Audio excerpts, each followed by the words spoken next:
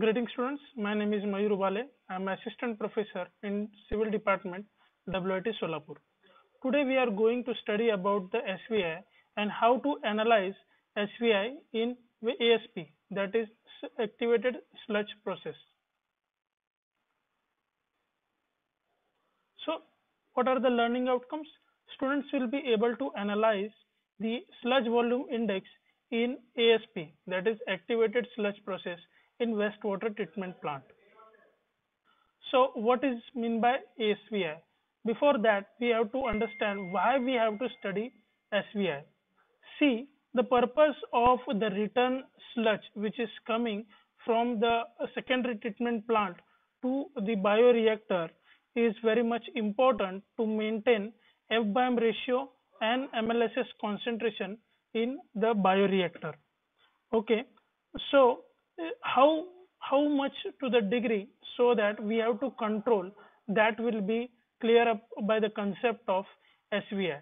SVI mostly targets that how much amount of return sludge we have to add up into the influent so that the rate of F by ratio and the rate of MLSS concentration should be maintained. Mostly it is focused on the concentration of microorganisms in the biological reactor. So what is the definition of SVI? SVI is basically defined as the volume in milliliters occupied by 1 gram of activated sludge which has been settled for 30 minutes in 1 liter of graduated cylinder. It is determined experimentally. Here in you can see in the diagram the secondary clarifier has been converted into the 1 liter of graduated cylinder whatever the MLSS or the concentration of microorganisms which are present in in the uh, biological reactor or the aeration tank will be shifted into the secondary clarifier. After 30 minutes, few part of the concentration of sludge which is present in the secondary clarifier will get settled down with the help of gravity. Now you can see the difference between the two uh, parts. One is the sludge and another one is the supernatant. The supernatant have a volume of Q. As the influent has the volume of Q, it means whatever the wastewater which is coming into the ASP will be taken out from the clarifier as a supernatant and then it will be treated in the next treatment units. But the sludge which has been settled in 30 minutes, we have to focus on that here, what the definition says is 1 gram of the sludge or the activated sludge which has been settled, we have to calculate the volume of that sludge. So we, have, we will get that how much the activated sludge has been generated and how much concentration of the sludge to be added into the influent. But for that we also have to understand what is the concentration of microorganisms in this in that sludge will be. For that the very much important parameter we have to understand is the MLSS in the biological reactor that is XT if you see in the diagram the MLSS which is measured in mg per liter will be degraded slowly slowly uh, with the help of microorganisms and it will be transferred to the secondary clarifier but only few part of that sludge will be in the uh, uh, in that secondary clarifier as two important parameters are here is one is MLSS in the biological reactor and another one is a settled volume of sludge in the secondary clarifier. By interlinking the both, we will get to know how much concentration of return sludge we have to add. Now, why I am mostly focusing on the MLSS that is XT.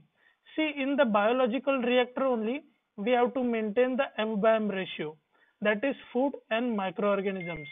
If we are having a large concentration of return sludge in the biological reactor automatically the MLSS will push up that is concentration of microorganisms will push up and the food that is the BOD which is present in the biological reactor will go down. What does it mean? Large amount of organic matter is present which may not be needed to degrade the food or the uh, BOD in the biological reactor. Similarly, if we may, if we decrease the return sludge rate, that is the activated microorganisms in the biological reactor, automatically the concentration of microorganisms will go down, which is very much lesser than required for the removal of BOD in the biological reactor. So here the re relating the both parameter we can calculate how much rate of sludge we have to add into the biological reactor. Therefore, the return sludge is mostly calculated with the help of SVI. So, let us see what are the important nature of SVI so that we can maintain these parameters. Mostly SVI is maintained in between 80 to 150 ml per gram. Okay, it is a quality indicator basically.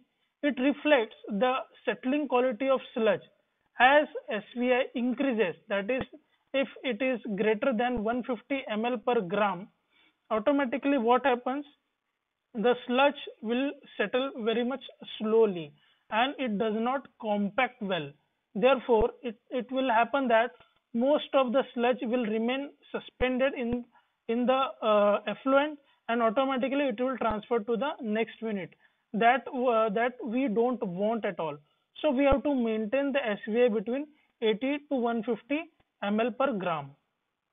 Now uh, if we are comparing and interlinking the MLSS in the biological reactor and the settled volume in the secondary clarifier we have to define the SVI with respect to these parameters. So how I can write the SVI?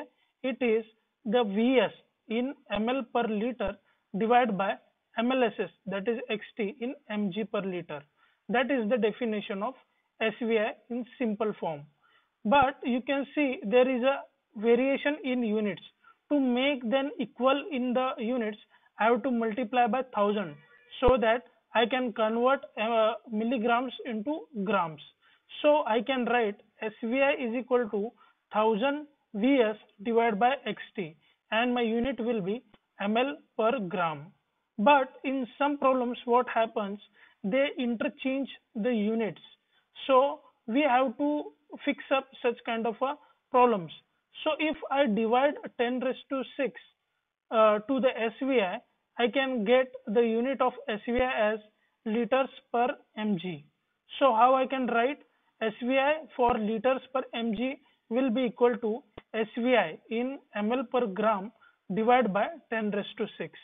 So here two parameters are important and what are their concentration will happen that will be decided by SVI. So let us have few review questions and let us understand how much you have grasped from that uh, series of slides.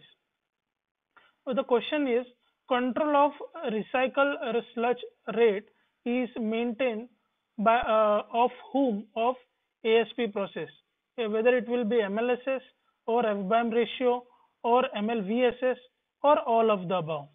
My answer will be all of the above because ASP mostly targets to maintain MLSS and F by M ratio.